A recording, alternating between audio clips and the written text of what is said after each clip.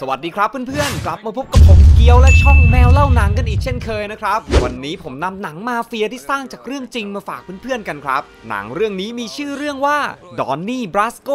หนังนั้นเล่าถึงตำรวจ FBI คนหนึ่ง ที่แฝงตัวเข้ามาอยู่ในแก๊งมาเฟีย และถ้าเพื่อนๆอยากรู้ว่าวันๆหนึ่งพวกมาเฟียทำอะไรกันบ้าง หนังเรื่องนี้จะพาเพื่อนๆไปตามติดชีวิตของพวกเขากันครับ ทั้งชีวิตการทำงาน หรือกติกาต่างๆ ในแก๊ง แต่ก่อนที่เราจะไปรับชมหนังเรื่องนี้พร้อมกันผมก็อยากรบกวนเพื่อนๆ ช่วยกันกดไลค์กด Subscribe เพื่อเป็นกำลังใจให้กับพวกเราด้วยนะครับ เอาล่ะครับ หากเพื่อนๆพร้อมกันแล้ว ก็ลองมาฟังผมเล่ากันดูครับ หนังนั้นเล่าย้อนไปในปี 1978 ณ บาร์แห่งหนึ่งในเมืองนิวยอร์ก มันเป็นเรื่องราวของชายสองคน ที่มีชื่อว่าเลฟตี้และดอน เลฟตี้นั้นเป็นหนึ่งในสมาชิกแก๊งมาเฟียชื่อดัง ส่วนดอนนั้นเป็นพ่อค้าเพชร ในตอนนั้นเลฟตี้ต้องการจะขายแหวนเพชรของเขา จึงได้นำมันมาให้กับดอนดู แต่ดอนก็กลับบอกว่าเพชรเป็นของปลอม เลฟตี้จึงได้บังคับให้ดอน ขับรถพาเขาไปหาคนขายแหวน พอไปถึงเลฟตี้ก็ทวงเงินของเขาคืน ดอนจึงอาสาเป็นคนไปคุยให้ แต่แทนที่ดอนจะเข้าไปคุย เขากลับเข้าไปกระทืบคนขายเพชร และยึดกุญแจรถมาให้กับเลฟตี้ จากนั้นทั้งสองคนก็ลากรถคันนั้นกลับมาด้วยกัน ระหว่างทางเลฟตี้เกิดสงสัยว่า ดอนอาจจะเป็นสายของตำรวจปลอมตัวมา เขาจึงได้ลองแงะรถของดอน เพื่อหาเครื่องดักฟัง หลังจากเหตุการณ์ในวันนั้นนะครับ ทั้งสองคนจึงได้กลายมาเป็นเพื่อนกัน วันต่อมาเลฟตี้ได้แวะมาหาจิลที่เลฟตี้มาในวันนี้ ก็เพื่อมาเช็คประวัติของดอนอีกครั้ง ก่อนที่เขานั้นจะพาดอนไปแนะนำตัวกับสมาชิกในแก๊ง พอมาถึงดอนก็ได้พบกับเรดบอสมาเฟียที่คุมย่านนี้ เรดนั้นเดินเข้าไปเช็คเด็กใหม่ทันที จากนั้นบรูโน่ลูกชายของเรดก็เข้าไปกวนตีนดอนอีกหนึ่งดอก ก่อนที่เรดนั้นจะกำชับให้เลฟตี้ส่งส่วยให้ตรงเวลา ในวันต่อมานะครับ ดอนได้แอบนัดพบกับตำรวจ แท้จริงแล้วดอนเป็นสายลับแฝงตัวเข้ามาครับ ในวันคริสต์มาสเลฟตี้ก็ชวนดอนมาที่บ้าน แถมยังลงมือทำกับข้าวให้กับเขากิน เมียของเลฟตี้นั้นมีชื่อว่าแอนเนตเธอเป็นภรรยาที่ดี ส่วนทอมมี่ลูกชายของเลฟตี้เป็นพวกขี้ยา เลฟตี้นั้นเล่าว่า ครั้งหนึ่งเขาเคยมีเรือสำราญขนาดใหญ่ แต่เขาก็จำใจต้องขายมันไปเพื่อเอาเงินไปส่งส่วยให้กับเรดจากนั้นเลฟตี้ก็บอกกับดอนว่า เมื่อวานเขาเพิ่งรับรองดอนกับคนในแก๊งไป ต่อจากนี้จะไม่มีใครกล้าแตะต้องดอนอีก เลฟตี้กำชับให้ดอนทำงานให้ดี ปฏิบัติตามกฎของแก๊ง และถ้าวันหนึ่งดอนทำผลงานเข้าตา เขาก็อาจจะได้เลื่อนขั้นเป็นคนคุมในคืนนั้นดอนขับรถกลับบ้าน เขามาไม่ทันฉลองคริสต์มาสกับครอบครัว แม็กกี้เมียของเขากำลังล้างจาน ส่วนลูกๆนอนกันไปหมดแล้ว ดอนนั้นมักจะทำแต่งาน และไม่ค่อยมีเวลาให้กับครอบครัว ทุกครั้งที่แม็กกี้ถามถึงเหตุผล ดอนก็จะบอกกับเธอว่า เขาไม่สามารถเปิดเผยความลับได้ และนั่นก็ทำให้แม็กกี้ต้องรับบท เป็นคนดูแลลูกๆ ทั้ง 3 เพียงลำพัง จากนั้นทั้งคู่ก็มีปากเสียงกันอีกเช่นเคย และก็จบลงด้วยการมีเซ็กส์ หลังจากมีอะไรกันเสร็จ แม็กกี้ก็ได้ขอให้ดอนมาร่วมประชุมผู้ปกครองในวันเสาร์แต่ดอนนั้นก็ยังคงติดงานอยู่เหมือนเดิมในตอนเช้านะครับ ดอนได้ตื่นมาทำอาหารให้กับลูกๆ แต่ลูกๆ ก็ไม่มีใครอยากคุยกับเขาเลย เมื่อดอนจัดการเรื่องส่วนตัวเสร็จ เขาก็กลับมาหาเลฟตี้ เช้านี้เลฟตี้นั้นดูเป็นกังวลครับ เพราะเขาถูกแบล็กขาใหญ่ของแก๊งเรียกตัวไปพบ แบล็กนั้นเคยติดคุกมาก่อน และตลอดเวลาที่แบล็กติดคุก เลฟตี้ก็ดูแลครอบครัวของเขาเป็นอย่างดี แต่ในโลกของมาเฟียนั้น การถูกเรียกตัวไปพบไม่ใช่เรื่องที่ดีนัก เลฟตี้คิดว่า เขาอาจจะเข้าไปแบบมีชีวิต และกลับออกมาเป็นศพก็ได้แม้ว่าคนคนนั้นจะเคยเป็นเพื่อนกันมาก่อนก็ตาม เมื่อมาถึงเลฟตี้ก็ลงจากรถ แล้วก็สั่งเสียให้ดอนดูแลเมียของเขาให้ดี พอเลฟตี้เข้าไปหาแบล็กแบล็กก็ขับรถพาเลฟตี้และดอนมาที่สนามบิน เมื่อมาถึงแบล็กได้พาตัวเลฟตี้ไป และสั่งให้ดอนรออยู่ที่รถ เขาพาเลฟตี้มาที่โกดังสินค้า ซึ่งในนั้นมีสิงโตอยู่ด้วยครับแบล็กบอกว่าเขาซื้อสิงโตตัวนี้เป็นของขวัญให้กับเลฟตี้เพราะว่าเขาเพิ่งได้เลื่อนขั้นต่อไป เรดจะเป็นคนดูแลในแถบลิตเติ้ลอินเดียส่วนเขาจะเป็นคนดูแลย่านบรูคลิน ซึ่งที่แบล็กเรียกเลฟตี้มาในวันนี้ ก็แค่จะบอกเรื่องนี้กับเขาเท่านั้น เมื่อเสร็จเรื่องนะครับเลฟตี้กับดอนก็ออกมายืนให้อาหารสิงโตด้วยกันเลฟตี้ระบายกับดอนว่า เขาทุ่มเทให้กับองค์กรมาตลอด 30 ปี ไม่เคยปลิปากบ่นอะไรสักคำฆ่าคนมาแล้วตั้ง 26 คน แต่คนในแก๊งก็ไม่เคยมีใครเห็นหัวเขาเลยกลับกลายเป็นแบ็กที่ได้เลื่อนขั้นเขาเคยฝันเอาไว้ว่า ถ้าวันหนึ่งเขาได้เรือลำนั้นกลับมาอีกครั้ง เขาจะพาแอนเนตเมียของเขา หนีไปด้วยกัน และจะไม่กลับมาที่นี่อีกเลย หลังจากที่แบล็กขึ้นมามีอำนาจนะครับ เขาก็พาสมาชิกในแก๊งก่ออาชญากรรมต่างๆ มากมาย ทั้งป้นทั้งขายยาและฆ่าคน ส่วนดอนก็จะคอยอัดเทป หาหลักฐานมาส่งให้กับตำรวจ ดอนมักจะซ่อนเครื่องดักฟังของเขาเอาไว้ในรองเท้าเสมอ วันนี้เพื่อนตำรวจของดอนได้แนะนำดีนตำรวจจากวอชิงตันให้ดอนรู้จัก ดีนบอกว่า ดอนนั้นทำงานได้ดีทำให้การสืบสวนนั้นคืบหน้าไปมาก สำนักงานใหญ่ก็เลยส่งดีนมาที่นี่ เพื่อขอให้ดอนช่วยรับรองริชชี่ตำรวจอีกคนเข้าไปในแก๊ง แต่ดอนก็ไม่รับปากเพราะเขาไม่อยากรับรองใครที่เขาไม่รู้จัก จากนั้นภาพก็ตัดไปที่แบ็คและพักพวก พวกเขาเข้ามากินข้าวในร้านอาหารญี่ปุ่น ซึ่งตามธรรมเนียมแล้ว ทุกคนจะต้องถอดรองเท้าออก แต่ดอนที่มีเครื่องดักฟังติดอยู่ที่เท้า ก็เป็นคนเดียวที่ไม่ยอมถอดมัน ไม่ว่าเพื่อนๆจะพูดยังไงก็ตาม ดอนนั้นก็ยังยืนยันคำเดิม ดอนบอกว่าที่เขาต้องโตมาในบ้านเด็กกำพร้า ก็เพราะพ่อของเขาถูกพวกญี่ปุ่นฆ่าตายที่โอกินาวาเขาจะไม่ยอมให้พวกยุ่นมาสั่งให้เขาทำอะไรทั้งนั้น พอได้ยินแบบนั้นแบล็กและพักพวกก็เลยลากบอยคนนั้นไปกระทืบจนปางตาย หลังจากจบเรื่อง ดอนก็กลับมาที่ห้อง เอาเครื่องอัดเทปออกมาจากรองเท้าด้วยความรู้สึกผิด ภาพตัดมาที่บาร์นะครับ แบ็คและลูกน้องกำลังรวมหัวกัน คิดวิธีหาเงินใหม่ๆ เขากำลังหัวเสียเป็นอย่างมาก พอเรสนั้นทำเงินได้เดือนละหลายล้าน ส่วนพวกเขานั้นได้แต่งานกระจอกกระจอกดอนเห็นดังนั้นจึงสบโอกาสครับ และบอกกับแบ็คไปว่า เพื่อนของเขาที่ฟลอริดาเล่าว่า ตอนนี้ที่นั่นเปิดกว้างอย่างมาก เศรษฐกิจก็ดี เราน่าจะทำเงินกันได้อย่างมหาศาลเลฟตี้ได้ยินดังนั้นก็ไม่ค่อยพอใจ ที่ดอนพูดจาข้ามหน้าข้ามตาเขาไปเลฟตี้บอกว่าที่ฟลอริดาก็น่าจะมีเจ้าถิ่นคุมอยู่แล้ว แต่นิกสมาชิกอีกคนก็พูดขึ้นมาว่า อยู่ที่นี่ต่อไปก็ไม่ต่างกัน จากนั้นแบล็กก็ระเบิดอารมณ์ออกมาด้วยความเครียด เขาจำเป็นจะต้องหาเงินให้ได้เดือนละ 50,000 เหรียญเพื่อส่งสวยไปให้กับรัสตี้บอสใหญ่ของแก๊ง ในตอนกลางคืนนะครับเลฟตี้และดอนขับรถออกมาด้วยกันเลฟตี้ถามดอนว่าทำไมเขาถึงสอดเรื่องฟลอริดาขึ้นมา เขารู้จักดอนดี ปกติดอนนั้นจะเป็นคนไม่ค่อยพูด ยกเว้นแต่ว่าดอนมีจุดประสงค์อะไรบางอย่าง เขาคิดว่าดอนกำลังปิดบังอะไรเขาอยู่ ดอนนั้นตอบปฏิเสธไปในทันทีครับ เขาเล่าให้เลฟตี้ฟังว่าริชชี่เพื่อนของเขานั้นเพิ่งโทรมาหา และบอกว่าถูกมาเฟียที่นั่นรังแก ริชชี่นั้นมีไนท์คลับอยู่ที่ใกล้หาด และเขาก็อยากหาหุ้นส่วนที่สามารถปกป้องเขาได้ จริง ๆ แล้วริชชี่ก็คือคนของตำรวจที่อยากให้ดอนพาเข้าแก๊งนั่นเอง เลฟตี้นั้นคัดค้านเรื่องนี้หัวชนฝา เพราะว่าถ้าเกิดดอนทำพลาดขึ้นมา เลฟตี้นั้นก็จะพลอยซวยไปด้วย เพราะว่าเลฟตี้นั้นเป็นคนรับรองดอนเข้าแก๊ง แต่ท้ายที่สุดแล้วนะครับ แบล็กและพักพวกก็ได้เดินทางไปยังฟลอริดาด้วยกัน หลังจากที่พวกเขาพักผ่อนหย่อนใจกันเรียบร้อย วันต่อมาดอนกับเลฟตี้ก็ได้นัดริชชี่มาพบ แต่ว่าริชชี่นั้นก็มาสายและทำให้เลฟตี้ไม่ค่อยพอใจ เมื่อมาถึงริชชี่ก็พาทั้งสองคนเข้าไปดูในคลับของเขา ที่มีชื่อว่า King's Court แต่พอเข้ามาในร้าน ปรากฏว่าข้าวของในร้านนั้นดูเก่าและสกปรกไปหมดริชชี่จึงบอกว่าที่เขาต้องปิดร้านไป ก็เพราะว่าถูกพวกมาเฟียไถเงินพอเลฟตี้เห็นว่าริชชี่เดินออกจากร้านไปแล้ว เขาจึงถามกับดอนว่า ดอนจะเป็นคนรับรองริชชี่ใช่ไหม ดอนบอกว่าเขารู้จักกับริชชี่ ก็เลยพามาแนะนำเท่านั้น เรื่องร้านให้เลฟตี้เป็นคนตัดสินใจเอาเองได้เลย เลฟตี้จึงได้ชวนดอนให้ซื้อร้านนี้ไว้กันสองคน เมื่อเสร็จเรื่องร้านนะครับ ดอนก็แอบออกมาหาพวกตำรวจที่มาเช่าห้องในโรงแรมเล็ก เพื่อใช้เป็นศูนย์บัญชาการ ดอนบอกกับทีมตำรวจว่า ตอนนี้เลฟตี้ต้องการติดต่อกับซานโต มาเฟียเจ้าถิ่น เพื่อทำการขอเปิดกิจการ ดอนจำเป็นต้องใช้เรือลำใหญ่ เพื่อพาซานโตออกไปเที่ยว ซานโตเป็นบอสของที่นี่ และเขาต้องได้ค่าหัวคิว เลฟตี้จึงจำเป็นจะต้องไปเจรจา ดอนนั้นทำตามคำขอของดีน รับรองลิชชี่เข้าแก๊งไปแล้วคราวนี้ถึงเวลาที่ดีนต้องหาเรือมาให้กับเขาบ้าง แต่ดีนนั้นก็กลับไม่ยอมอนุมัติเรื่องนี้ และบอกว่าทีมของเขาไม่มีงบประมาณขนาดนั้น ดอนพูดอยู่นานจนเขาเริ่มโมโห ก็เลยระเบิดอารมณ์ใส่ดีนไป จากนั้นภาพก็ตัดมาที่นิกครับหนึ่งในสมาชิกแก๊ง เขาแอบเอาโคเคนของแก๊งออกมาขาย ปรากฏว่าโรงแรมนี้เป็นโรงแรมเดียวกันกับที่ดอน แอบมาหาพวกตำรวจ และในตอนกลับทั้งคู่ก็ได้สบตากันโดยบังเอิญเช้าวันต่อมา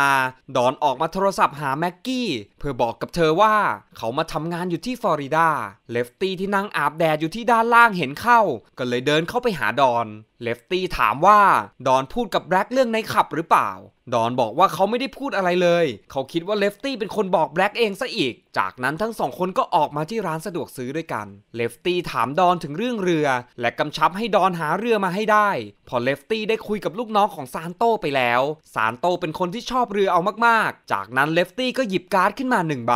ซึ่งเขาตั้งใจจะมอบมันให้กับซานโตด้วยตัวเอง จากนั้นดอนก็กลับมาหาทีมตำรวจอีกครั้ง เพื่อนๆเห็นดอนกำลังเครียด ก็ช่วยกันพูดให้กำลังใจเขา จากนั้นหนึ่งในทีมตำรวจก็คิดไอเดียดีๆ ออก เขาบอกให้ดอนไปขอยืมเรือของตำรวจอีกหน่วยที่เพิ่งมาทำงานที่ฟลอริดาไปใช้ และในที่สุดนะครับ ดอนก็สามารถหาเรือมาต้อนรับซานโตจนได้ พอรถของซานโตมาถึง เลฟตี้ก็รีบวิ่งไปต้อนรับเขาทันที แต่ซานโตนั้นก็กลับถามหาแต่แบล็กจากนั้นไม่นาน รถของแบล็กก็มาถึงที่ท่าเรือครับ พอลงจากรถมา แบล็กนั้นก็จุดบุหรี่ดูด และยื่นกล่องไม้ขีดไฟของร้าน King's Court ให้กับเลฟตี้ไป เมื่อเรือออกจากท่างานปาร์ตี้ก็เริ่มขึ้นครับแบล็กนั้นนั่งอยู่ในห้องส่วนตัวกับซานโต ส่วนเลฟตี้นั้นได้แต่ยืนมองพวกเขาอยู่ที่ด้านนอก เลฟตี้หยิบการ์ดที่เตรียมมา ฉีกทิ้งลงทะเล จากนั้นดอนก็เดินเข้ามาหาเขา แต่เลฟตี้ก็ไม่อยากจะคุยด้วย เลฟตี้นั้นคิดว่าดอนหักหลังเขา เลฟตี้จึงได้ไล่ดอนไป ดอนนั้นออกมานั่งอยู่คนเดียวที่หัวเรือ จากนั้นแบล็กก็เดินมา แบล็กบอกว่าที่ฟลอริดามันเจ๋งมาก เมืองนี้มันแจ่มยังกับเวกัส เรารอแค่เงินเริ่มต้นจากรัสตี้ จากนั้นพวกเราก็จะรวยกันเละเทะแน่นอน แบล็กนั้นอยากให้ดอน เป็นตัวแทนของเขาดูแลทุกอย่างที่ฟลอริดา แต่ดอนก็ไม่อยากที่จะทำอะไรข้ามหน้าข้ามตาเลฟตี้ เขาไม่อยากจะผิดใจกับเพื่อน แบล็กจึงพูดว่าเลฟตี้นั้นเป็นคนดี เขาดูแลทุกอย่างตอนที่แบล็กอยู่ในคุก เขาจะไม่ลืมมันอย่างแน่นอน แต่ตอนนี้ดอนกำลังคิดมากอยู่ ตั้งแต่นี้เป็นต้นไป ดอนได้กลายเป็นคนของเขาแล้วจำไว้แค่นั้นก็พอ ภาพตัดมาที่แม็กกี้ครับ วันนี้เป็นวันรับศีลมหาสนิท ซึ่งเป็นวันสำคัญมากทางศาสนา ดอนนั้นเคยรับปากเอาไว้ว่าจะมาร่วมงาน แต่ว่าเขาก็มาไม่ได้อีกเช่นเคย และนั่นก็ทำให้ลูกสาวของเขาผิดหวังเป็นอย่างมาก แม็กกี้นั้นพยายามจะเข้าไปปลอบเธอ แต่ลูกสาวก็วิ่งหนีไปด้วยความเสียใจ ทางด้านของดอน เขาพยายามจะโทรกลับไปที่บ้าน แต่ก็ไม่สามารถติดต่อได้ครับ เนื่องจากเบอร์นั้นได้ถูกยกเลิกไปแล้ว วันรุ่งขึ้นนะครับ แบล็กและพักพวกก็มากันที่สนามบิน เตรียมเดินทางกลับไปที่นิวยอร์ก แต่ปรากฏว่า ดอนกับริชชี่ก็ดันไปเจอคนรู้จักเข้าโดยบังเอิญ เมื่อชายคนนั้นเห็นดอน เขาก็เดินเข้าไปทักทาย แต่ก็กลับถูกดอนชกหน้าจนล้มลงไปนอน ก่อนที่ริชชี่จะเข้าไปกระซิบบอกว่า พวกเขานั้นกำลังปฏิบัติหน้าที่กันอยู่ หลังจากจบเรื่องแบล็กก็กำชับให้ดอนดูแลกิจการให้ดี ก่อนที่เขานั้นจะขึ้นเครื่องกลับนิวยอร์กไป หลังจากที่ส่งแบล็กเสร็จนะครับ ดอนก็บินกลับมาที่บ้านทันที เขาเข้าไปหาลูกๆ ที่ตอนนี้หลับกันไปหมดแล้ว จากนั้นก็เข้าไปหาแม็กกี้ที่ห้อง แม็กกี้บอกกับดอนว่า เธอนั้นต้องการจะหย่ากับเขา วันรุ่งขึ้นทั้งคู่ก็เลยได้เข้าไปปรึกษาชีวิตคู่กับจิตแพทย์ ซึ่งหมอก็แนะนำให้ดอน ให้เวลากับแม็กกี้และลูกๆมากกว่านี้ ก่อนที่ทุกอย่างนั้นจะสายเกินไป หลังจากคุยกับหมอเสร็จ ทั้งคู่ก็มีปากเสียงกันต่อที่ด้านนอกแม็กกี้บอกว่าที่เธอพาดอนมาที่นี่ในวันนี้ ก็เพราะเธออยากให้หมอหาเหตุผลดีๆให้เธอ ที่จะไม่ต้องเลิกกับดอน เมื่อดอนกลับมาถึงบ้าน แอนเนตเมียของเลฟตี้ก็โทรมาแจ้งเรื่องสำคัญ ทอมมี่ลูกชายของเลฟตี้นั้นเสพยาเกินขนาด ตอนนี้อาการโคม่าอยู่ที่โรงพยาบาล ดอนจึงรีบออกมาหาเลฟตี้ทันที เมื่อดอนนั้นไปถึง เลฟตี้ก็ถามว่าทำไมดอนมาอยู่ที่นี่ เขาควรจะดูแลกิจการของแบล็กอยู่ที่ฟลอริดา ดอนบอกว่าเขาแค่อยากจะมาอยู่เป็นเพื่อน ช่วยอะไรที่เขาพอจะช่วยได้เลฟตี้นั้นไม่ต้องการให้ดอนมาช่วยอะไรทั้งนั้น เขาพยายามไล่ดอนกลับไปแต่ไม่ว่าเลฟตี้จะไล่ดอนยังไง ดอนนั้นก็ยังยืนกรานคำเดิม เลฟตี้นั้นจึงได้เริ่มปรับทุกข์เรื่องลูกชายให้กับดอนฟัง จากนั้นเลฟตี้ก็ร้องไห้ออกมา และบอกกับดอนว่าเขารักดอน ภาพตัดมาที่ร้าน King's Court นะครับ วันนี้เป็นวันเปิดทำการวันแรก ซึ่งแบ็คและพักพวกก็มาร่วมงานนี้กันหมด กิจการวันแรกผ่านไปได้ด้วยดี แขกนั้นเข้ามากันเต็มร้าน ที่ด้านในมีคาสิโนอยู่ด้วย แบ็กนั้นถูกใจเอามากๆครับ พวกเขาทำเงินกันได้มหาศาล จากนั้นแบล็กก็นับเงินออกมาจำนวนหนึ่ง และส่งมันให้กับดอน ดอนจึงนำเอากระเป๋าเงินนั้น ไปซ่อนไว้ที่หลังรถในจังหวะที่ดอนนั้นกำลังจะเดินกลับเข้าร้าน จู่ๆตำรวจฟลอริดาก็เข้ามารวบตัวเขาเอาไว้ ก่อนจะบุกเข้าไปเก็บกวาดที่ด้านในต่อ พวกตำรวจทำลายข้าวของและเข้าจับกลุ่มทุกคน ดอนคิดว่าที่เกิดเรื่องแบบนี้ขึ้น ก็เป็นเพราะริชชี่นั้นไม่ยอมติดสินบนเจ้าหน้าที่เอาไว้ ริชชี่จึงโยนต่อว่าเป็นความผิดของดีน ที่ไม่ยอมอนุมัติเงินให้กับเขา จากนั้นทุกคนก็ถูกจับมาขังร่วมกัน แบล็กรีบถามถึงกระเป๋าเงินกับดอน ดอนบอกว่าพวกตำรวจเก็บทุกอย่างไปหมดแล้ว แบล็กนั้นน่าเสียไปในทันที เพราะเงินพวกนั้นเป็นเงินของรัสตี้ที่ให้พวกเขามาเริ่มต้น จากนั้นเลฟตี้ก็พูดขึ้นมาว่า ปกติพวกตำรวจโง่กันจะตายทำอะไรก็ชักช้า นี่พวกเขาเพิ่งเปิดร้านกันวันนี้ตำรวจรู้เรื่องพวกนี้ได้ยังไง จะต้องมีใครบางคนในห้องนี้ เป็นสายให้กับตำรวจแน่ๆแบล็กจึงได้ประกาศก้าวออกมาว่า เขาจะตามหานอนให้เจอ และจัดการมันอย่างสาสม ภาพตัดมาที่ซานโตมาเฟียประจำถิ่นครับ เขากำลังคุยโทรศัพท์อยู่กับเรดผู้ที่อยู่เบื้องหลังเรื่องทั้งหมด เรดนั้นได้วายวานให้ซานโตจัดฉากให้ตำรวจบุกร้านของแบล็ก และหลังจากที่แบ็กและพักพวกประกันตัวออกมาได้ พวกเขาก็นั่งเครื่องบินกลับนิวยอร์กทันที ที่บนเครื่องบินนั้น ดอนได้อ่านนิตยสารเล่มหนึ่ง และพบกับรูปเรือที่เขายืมมา ซึ่งมันเป็นเรือของตำรวจ ดอนจึงได้รีบเก็บนิตยสารเล่มนั้นลงไปทันที จากนั้นภาพก็ตัดมาที่การประชุมแกงครับ หลังจากที่ประชุมกันไปได้สักพัก ก็มีโทรศัพท์เข้ามาหาแบล็กแบล็กนั้นเดินไปกระซิบอะไรบางอย่างกับลูกน้อง ก่อนจะเดินไปรับสาย จากนั้นแบล็กก็กลับมาบอกกับทุกคนว่า คนของเรดเรียกเขาไปพบที่ลิตเติ้ลอินเดีย ทุกคนนั้นจึงได้เดินออกจากร้านไปด้วยกัน แบล็กหัวเสียอย่างมากที่ทีมของเขามีหนอน เขาสั่งให้ดอนเป็นคนขับรถ พวกเขานั้นจะแวะไปที่หนึ่งก่อน ก่อนที่จะไปที่ลิตเติ้ลอินเดีย เมื่อมาถึงที่หมายนะครับ แบ็กก็สั่งให้ทุกคนเข้าไปในบ้าน ยกเว้นดอนคนเดียวที่ต้องรออยู่ที่รถ ภาพตัดมาที่เรดครับ เขากลับมาบ้าน แล้วก็สั่งให้ลูกน้องเตรียมปืนเอาไว้ เมื่อเรดและพักพวกเดินเข้ามาในบ้าน ก็พบว่าไฟนั้นถูกตัด พวกเขาจึงเดินลงมาที่ชั้นใต้ดิน ปรากฏว่าแบล็กและพักพวกได้รอเรดอยู่แล้ว พวกเขายิงปืนเก็บเรดทิ้งทันที จากนั้นก็บอกให้ลูกน้องพาตัวดอนเข้ามา ลูกน้องเดินมานั่งที่เบาะหลัง และบอกให้ดอนเดินตามเขาเข้าไป พอดอนมาถึงแบล็กก็ใช้ให้ดอนไปช่วยหั่นศพเพื่อทำลายหลักฐาน นิกจึงเดินเข้าไปจูงมือดอนให้เดินตามเขาเข้ามา แต่แล้วจู่ๆเลฟตี้ก็โผล่มาจากด้านหลัง และยิงนิกทิ้งทันที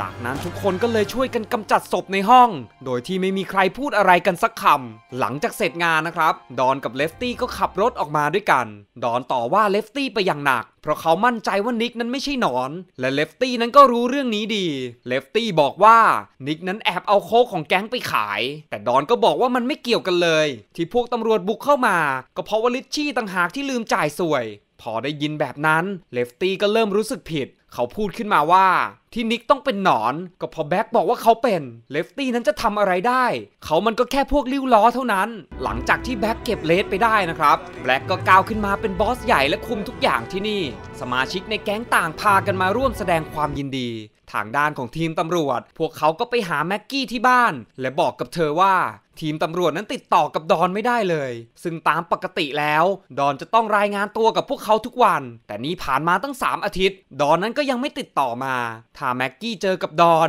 ให้เธอพยายามเกลี้ยกล่อมเขา ตอนนี้ได้เกิดสงครามในแก๊งมาเฟีย ผู้นำกลุ่มถูกฆ่าตายไปถึง 3 คน และดอนนั้นก็อาจจะโดนลูกหลงไปด้วย เพราะดอนก็เป็นหนึ่งในสมาชิกแก๊ง และแต่ละคนที่ดอนไปสนิทด้วย ตอนนี้ก็ได้กลายเป็นหัวโจกกันไปหมดแล้ว แม็กกี้จึงเล่าให้ตำรวจฟังว่า เมื่ออาทิตย์ที่แล้วนั้น ดอนได้แอบเข้าบ้านมาในตอนดึก เขาไม่เข้ามาทักทายเธอเลยด้วยซ้ำ เขาแค่เข้ามาหยิบเสื้อโค้ทแล้วก็ออกไป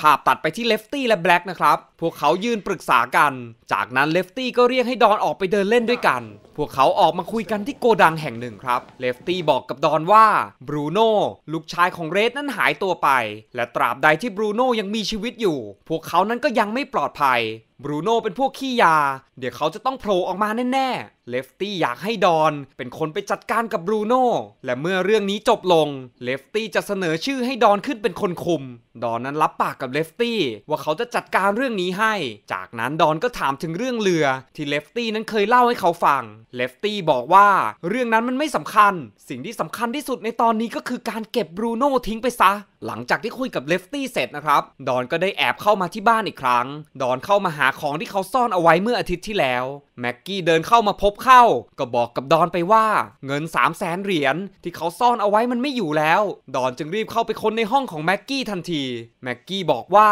ไม่มีตำรวจคนไหนพกเงิน 3 0 0แสนเหรียญหรอก เงินนั่นมันเป็นของใคร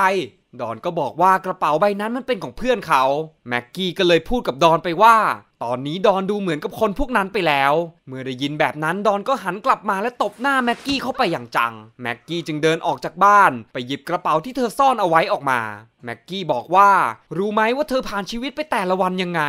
ดอนบอกว่า งานนี้ได้กลืนชีวิตเขาไปทั้งเป็น ถ้าเขาออกจากแก๊งไป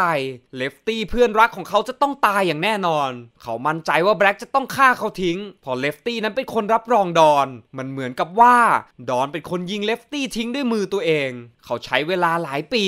ทำตัวเป็นคนดีเพื่อสังคม สุดท้ายเขากลับได้มาแต่ความว่างเปล่า แม็กกี้นั้นเข้าใจผิดแล้ว เขาไม่ได้แค่เหมือนกับคนพวกนั้น แต่เขากลายเป็นคนพวกนั้นไปแล้ว จากนั้นดอนก็ออกมาโทรศัพท์หาเลฟตี้ เลฟตี้บอกว่า ตอนนี้พวกเขาพบตัวบรูโน่แล้ว ให้ดอนรีบออกมาทันที ปรากฏว่าพวกตำรวจนั้นได้แอบฟังโทรศัพท์ของดอนอยู่ด้วยครับ ดอนขับรถมาที่ท่าเรือ จากนั้นเลฟตี้ก็ขึ้นรถมา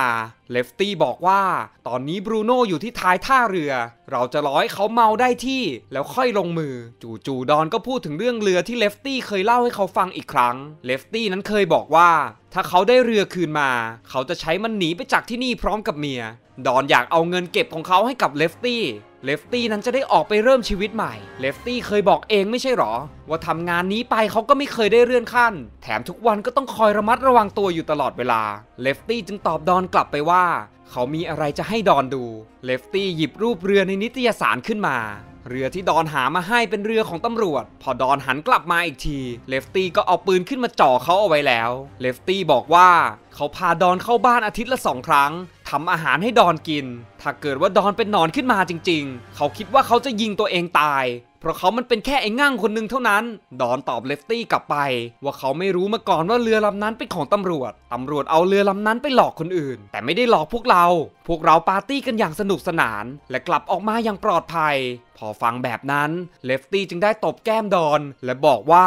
ได้เวลาจบงานแล้ว จากนั้นทั้งคู่ก็ลงจากรถและเดินไปด้วยกัน เมื่อพบกับเรือของบูโน่เลฟตี้ก็ดึงปลั๊กไฟออกมา และบอกให้ดอนนั้นเตรียมตัวลงมือ จากนั้นตำรวจก็แห่กันมาจับกลุ่มพวกเขาสองคนไปเลฟตี้ตะโกนบอกดอนไปว่า อย่าพูดอะไรทั้งนั้น เขาจะส่งทนายไปช่วย ดอนนั้นจะต้องปลอดภัยอย่างแน่นอน ตอนนี้ปฏิบัติการดอนนี่บราสโกได้จบลงแล้ว ดีและทีมตำรวจได้นำรูปถ่ายของดอน ตอนที่เขาไปตำรวจไปให้กับแบล็กดู และบอกให้พวกแบล็กนั้นมอบตัว เลฟตี้ยืนมองรูปพวกนั้นอยู่นาน พอตำรวจกลับไป แบ็กและพักพวกก็เดินออกมาข้างนอก และพูดขึ้นมาว่า พวกเราเกือบจะลงก้นตำรวจเข้าแล้ว ถ้าเรานั้นไม่รู้จักดอนดีพอ จากนั้นเลฟตี้ก็กลับมาที่บ้านนั่งดูทีวี สักพักเสียงโทรศัพท์ก็ดังขึ้น ใครบางคนเรียกเขาออกจากบ้านไป เลฟตี้บอกกับแอนเนตว่า ถ้าดอนโทรเข้ามา ให้บอกกับเขาไปว่า ไม่ว่าดอนจะเป็นใครก็ตาม เขาดีใจที่ดอนเป็นดอน เลฟตี้จูบลาเมียของเขา เก็บของมีค่าทั้งหมดลงไปในตู้ ก่อนจะเดินออกจากห้องไป และจากนั้นเสียงปืนก็ดังขึ้น ดอนนั้นได้รับเหรียญกล้าหาญและเช็คเงินสดจำนวน 500 เหรียญ แต่เขากลับไม่รู้สึกอะไรเลย ดอนยืนเหม่ออยู่คนเดียว จนแม็กกี้นั้นต้องเดินเข้าไปบอกว่า ตอนนี้ทุกอย่างมันจบแล้ว หลักฐานทั้งหมดจากการปฏิบัติการดอนนี่บราสโกได้นำไปสู่การตัดสินโทษถึง 100 คดี ดอนนั้นต้องใช้ชีวิตอยู่กับภรรยาด้วยชื่อปลอม และยังคงถูกตั้งค่าหัว1 0 0 0 0แสนเหรียญจากแก๊งมาเฟีย จากนั้นหนังเรื่องนี้ก็จบบริบูรณ์ครับ ก็จบลงไปแล้วนะครับ กับหนังเรื่องดอนนี่บราสโกหากเพื่อนๆชอบ ก็อย่าลืมกดไลค์กด Subscribe และกดกระดิ่งแจ้งเตือน เพื่อที่จะไม่พลาดคลิปใหม่ๆก่อนใครนะครับ วันนี้ผมเกียวและช่องแมวเล่าหนัง ต้องขอตัวลาเพื่อนๆไปก่อนนะครับ สวัสดีครับ